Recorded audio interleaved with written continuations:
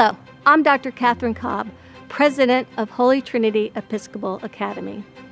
And as many of you are aware, our world has changed dramatically since March, and we are now living under this new normal situation.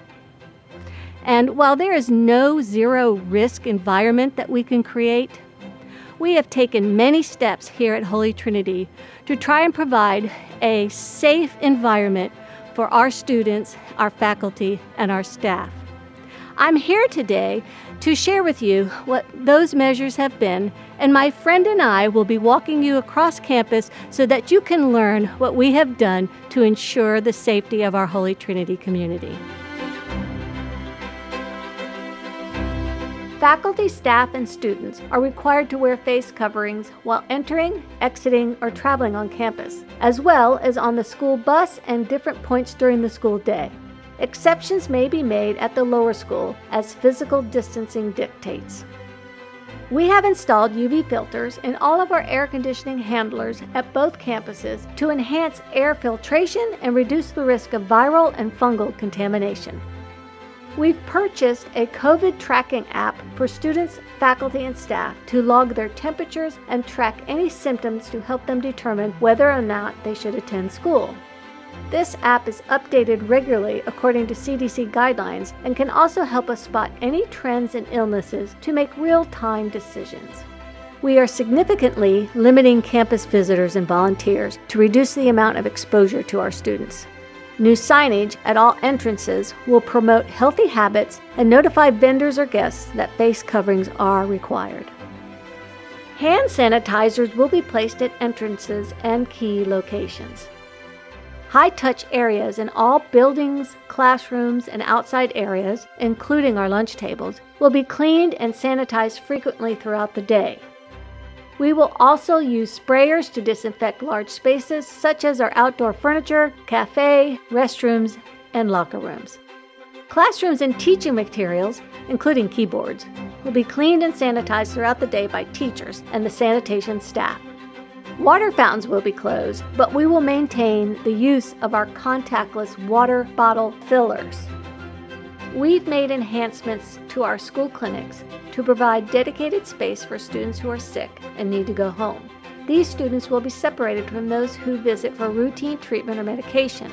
Our nurses have also been equipped with PPE or personal protective equipment. Plexiglass shields have been installed in the main office at the reception desks. We are evaluating class sizes carefully as schedules are finalized and will utilize larger spaces on campus to allow for physical distancing whenever possible. We are evaluating each classroom space on campus to ensure desk and furnishings optimize the ability for students to spread out as much as possible. Some classes will be taught outdoors when possible. In the primary and intermediate divisions, tables have been replaced with individual desks. We are constructing acrylic desk shields for use in primary grades 1 through 3 and intermediate grades 4 through 6 as well. Physical education classes will be held outdoors in shady areas as much as possible. Our PE teachers at both campuses have undergone special training to be able to present physical education classes with physical distancing or remotely should the need arise. At both campuses, chapel and assemblies will be split to allow maximum physical distancing. We've increased time between classes and a new traffic pattern will alleviate crowds in hallways and reduce capacity in the restrooms. To accommodate longer breaks between classes, our school day at the upper school has been extended by 15 minutes. We will use a single point of entry and exit for each classroom to avoid bottlenecks at the classroom door and in the hallways. The use of digital materials whenever possible will decrease the sharing of classroom supplies, textbooks, and papers. All lunch vendors will wear masks while preparing food and will provide only individually packaged items. We are also implementing a cashless system at both campuses, so money is not changing hands. Plexiglass shields have been installed in the serving areas at the Tiger Cafe.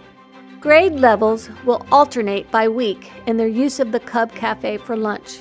For the grade level not eating in the Cub Cafe, lunches will be delivered to the classroom. Serving windows add an additional layer of safety to lunch distribution. We're adjusting the number of students being served lunch at one time to allow for more physical distancing. Masks will be required inside the Tiger Cafe during lunch distribution.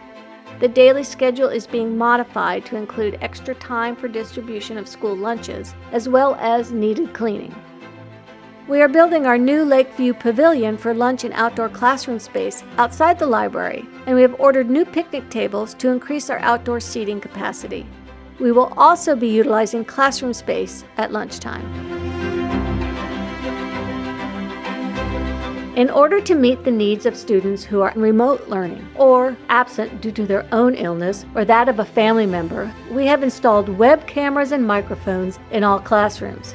This summer, our teachers underwent training in Google Meets and Microsoft Teams to learn how to use synchronous video meeting software. They also received additional training in our on campus platform to facilitate effective off site instruction. We've upgraded the internet bandwidth at both campuses, and cloud based online software is available to help promote collaborative workspaces and lesson delivery in case it is needed for remote learning.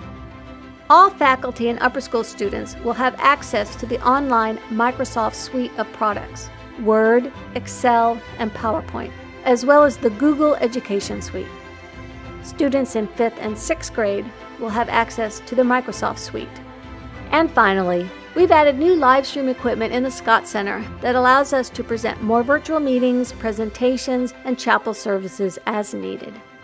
So, as you can see, we've taken many steps to improve the environment to ensure the health and safety of our faculty, students, and staff. And we will continue to monitor recommendations from our experts in the community. So, we ask for your patience and your support and your prayers Thank you, and God bless.